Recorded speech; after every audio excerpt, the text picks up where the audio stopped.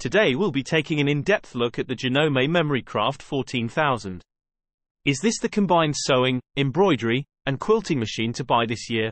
If you think so, I have left a link in the description to an incredible sale currently going on for this machine, that includes free US delivery and a load of free extras. But let's move on with a breakdown of the features. First the design and build of the Janome Horizon MC14000. This machine boasts a sleek and sturdy construction with a 15-inch embossed stainless steel bed, providing ample space for large quilting projects and embroidery designs. Furthermore, the LCD full-color touchscreen is easy to navigate, offering quick access to various functions and settings.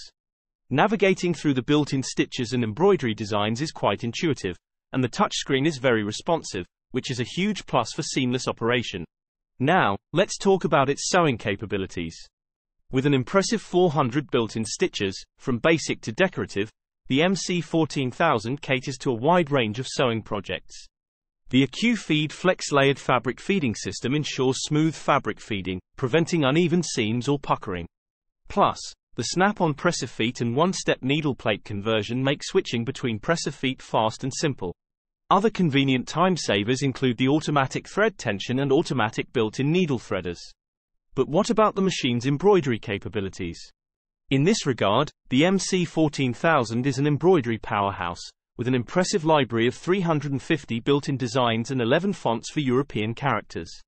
It's perfect for adding that personalized touch to your projects. The MC14000 comes with some nifty advanced features.